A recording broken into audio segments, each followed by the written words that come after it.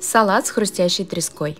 Треску обвалять в яйце и панировочных сухарях. Обжариваем до готовности. Для заправки возьмем сметану, соевый соус, мягкую горчицу и два желтка. Хорошенько перемешаем, добавим лимонный сок и снова перемешаем. Собираем салат. Возьмем салатную зелень, слегка польем заправкой, добавим огурцы, кусочки хрустящей трески, немного кунжута и снова польем заправкой. Ну вот и все, салат готов. Быстрый и очень вкусный.